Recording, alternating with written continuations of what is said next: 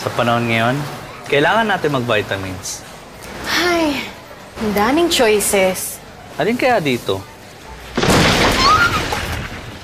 Good be well morning. Sir, ma'am, hanap niyo po ba yung non-acidic na vitamin C? Subukan niyo po ang B-Well C, the non-acidic vitamin C, to help protect your family against cough, colds, and flu. Aba, ayos to ah. Ah, sige miss, kukuha kami ng one box. Thank you po. Stay healthy and be well.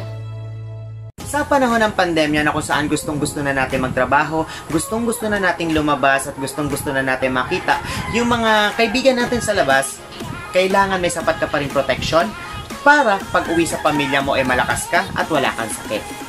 Sabi nga nila, prevention is better than cure. At para maiwasan na natin ang pagpasok ng kahit anong sakit sa ating katawan, eh kailangan mag-take na tayo ng vitamin C.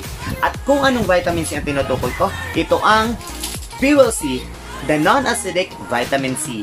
Dahil bukod sa bibigyan tayo nito ng protection sa ating katawan, e tutulungan nitong mag-glow ang ating skin. At isa pa, nakakatulong din ito na kumuha ng mga iron sa mga pagkain na kinakain natin para sa araw-araw ay maramdaman natin na mas energized tayo.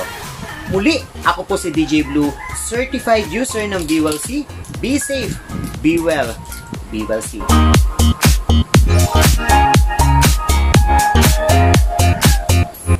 The number one, non-acidic vitamin C.